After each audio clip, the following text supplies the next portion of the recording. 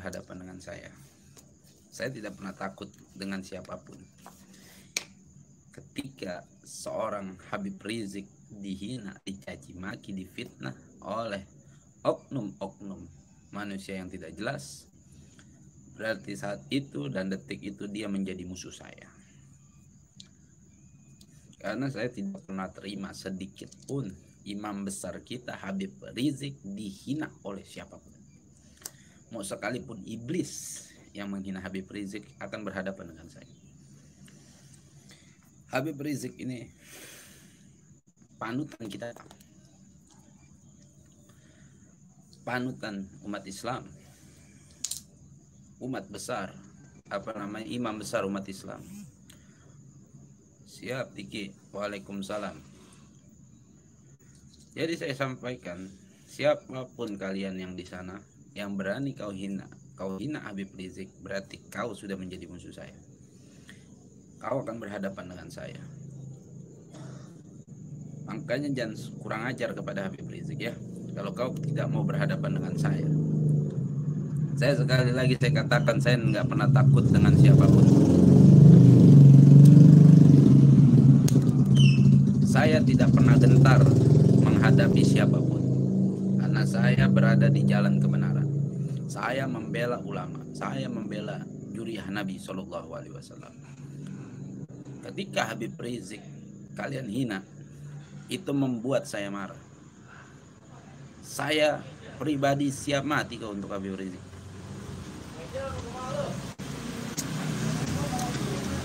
Dan saya akan terus pantau siapa pun yang menghina Habib Rizik. Karena semakin hari semakin banyak ini yang menghina Habib Rizik. Semakin hari semakin banyak yang fitnah Habib Rizik. Jadi saya sampaikan, siapa pun Anda, apa pun Anda, berani kau hina Habib Rizik, kau fitnah Habib Rizik, kau caci maki Habib Rizik, kau akan berhadapan dengan saya. Camkan mulut saya ini. Karena ketika kau sudah berani menghina Habib Rizik, kau sudah menjadi musuh saya. Kenapa saya begitu sangat membela Habib Rizik mati-matian? Ya, karena Habib Rizik ini adalah imam besar umat Islam. Beliau adalah seorang wali besar. Beliau adalah seorang wali Allah. Beliau ini adalah seorang ulama. Beliau ini adalah cucu Nabi yang wajib kita bela sampai titik darah penghabisan, saudara-saudara. Jadi semakin banyak ini yang menghina Habib Rizik. Yang suka mengganti-ganti wajahnya Habib Rizik sudah semakin banyak. Jadi saya sampaikan, siapa pun Anda, apa pun Anda mau cebong kayak mau setan kayak mau iblis kayak mau siapa pun Anda, kau berani dengan Habib Rizik, kau hina Habib Rizik, kau fitnah Habib Rizik, kau akan berhadapan dengan kami umat Islam. Jangan macam-macam kau dengan Habib Rizik. Habib Rizik ini berkorban untuk umat Islam.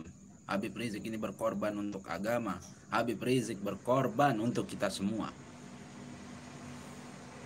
Pakai otak kalian. Kita umat Islam siap mati untuk Habib Rizik. Maka kita nggak terima sedikit pun siapa pun berani menghina Habib Rizik, siapa pun berani memfitnah Habib Rizik. Saya yakin seluruh umat Islam akan marah melihat Habib Rizik dihina. Seluruh umat Islam akan marah ketika melihat Habib Rizik dicaci maki. Waalaikumsalam Muhammad Restu Fauzi. Ya jadi camkan mulut saya. Ketika kalian berani menghina Habib Rizik, saat itu dan detik itu kalian adalah musuh saya. Karena hanya orang-orang yang munafik lah yang berani dengan ulama, dengan habaib. Hanya orang munafik lah yang ber, yang berani menghina ulama, mencaci maki ulama. Kalau dia bukan orang munafik, nggak mungkin dia berani menghina ulama. Jadi macam-macam anda dengan Habib Rizik berarti akan menghadapi seluruh umat Islam. Kalian hina Habib Rizik, kalian akan menghadapi seluruh umat Islam. Umat Islam ini butuh sama beliau. Umat Islam itu cinta kepada Habib Rizik. Umat Islam itu sayang kepada Habib Rizik. Jadi jangan macam-macam kalian dengan Habib Rizik. Jangan berani kau hina Habib Rizik. Jangan berani kau caci maki Habib Rizik ya. Saya ada waktunya lembut, saya ada waktunya tegas. Ketika saya lembut, saya lembut. Ketika saya tegas, saya tegas. Ketika saya melihat siapa pun yang berani menghina Habib Rizik, itu akan saya lawan. Jadi saya katakan mau cebong mau setan mau iblis mau siapa pun berani sama Habib Rizik menjadi musuh saya. Jadi kita buktikan cinta kita kepada Habib Rizik. Jangan biarkan itu cebong-cebong itu, goblok-goblok itu berani menghina Habib Rizik. Jadi buktikan nih kecintaan kita kepada Habib Rizik. Habib Rizik saja bisa berkorban buat kita. Kenapa kita nggak bisa berkorban untuk Habib Rizik? Habib Rizik ini seorang ulama besar yang bagaimana semua habaib mencintai beliau. Semua ulama, khususnya ulama Indonesia mencintai Habib Rizik. Jadi jangan macam-macam kalian dengan Habib Rizik. Jangan berani lagi kau menghina Habib Rizik. Kalau kau tidak mau berhadapan dengan seluruh umat Islam. Ada bongki-bongki cebong-cebong ini berani cuman menghina. Coba kau hina nih saya depan muka saya. Berani nggak anda?